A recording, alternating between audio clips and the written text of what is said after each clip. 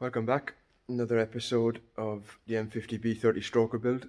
Uh, last episode we finished off getting all the cams in place and getting all them torqued down. Uh, so that's done. This episode now we're going to get everything um, timed up, get the Vanos back on, and hopefully get the oil filter housing back on, a few other bits, maybe start getting the loom back on and all the sensors.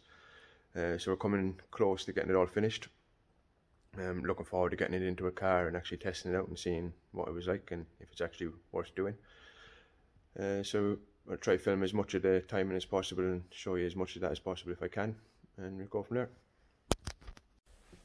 Right, so I'll uh, just show you where I am at the moment and um, what I'm doing.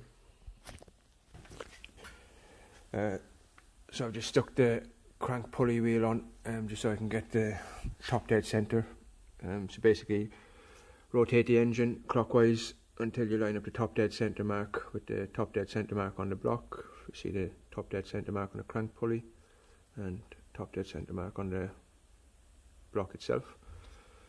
Um, so get that in place. Then what we also need then is um, our cams. Um, before doing this obviously get them at top dead centre. Um, you know when they're at top dead centre by the front lobes um, face each other but also you make sure you lock your cams in place with the correct tool. You can see there two dots and two dots facing straight up. That means you're top you're in top dead center to top. And then so where I am now is I put the exhaust sprocket wheel on. Um, this arrow has to be facing straight up and these holes roughly in the middle.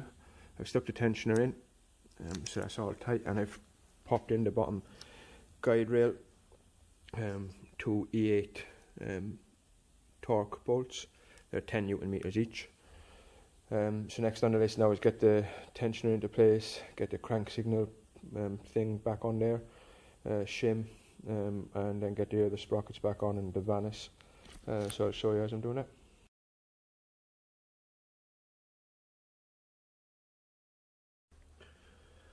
Okay, so all the Vanos chains and sprockets are all on um, give you a look and just go through what I did.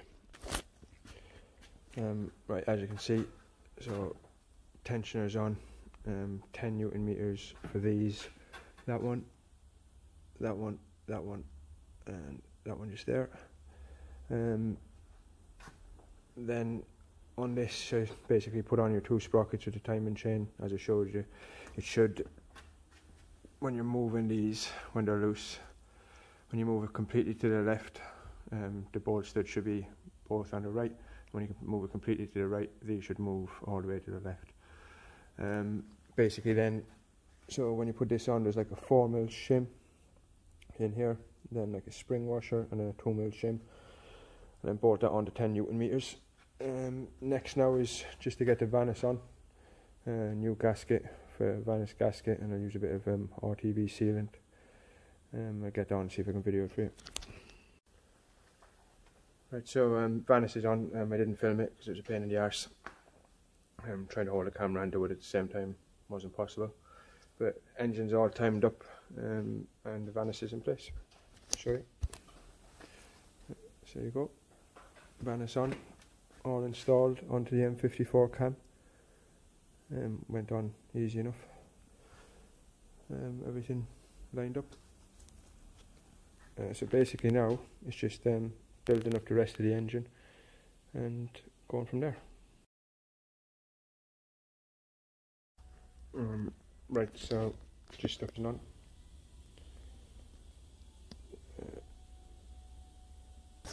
Uh, um, that's as much as I'm doing for today. Um, next weekend, hopefully I'll get it finished off and ready to put into a car.